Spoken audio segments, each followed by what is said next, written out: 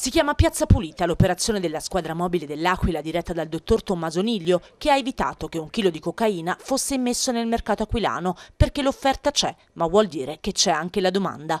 I particolari dell'operazione che ha portato all'arresto di Tahir Selmani, macedone di 50 anni, e di Adi Siriai, albanese di 28 anni circa, trovati in flagranza mentre disotterravano lo stupefacente a Ocre nei pressi del cimitero, sono stati svelati in una conferenza stampa in questura.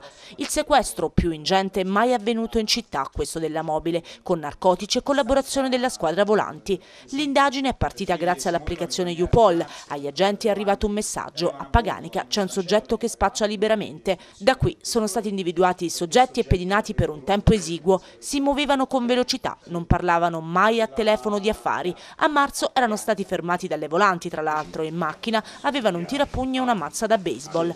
Il Macedone aveva anche un ordine di espulsione dal questore perché soggetto pericoloso.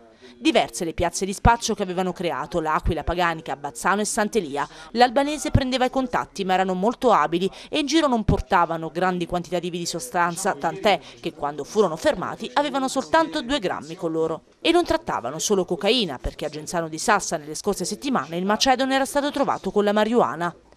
Per il valore si tratta di 100 euro a grammo, quindi 100.000 euro sul mercato. La droga ora sarà analizzata, ma la mobile ha già constatato che si tratta di un livello di purezza inusuale per la città.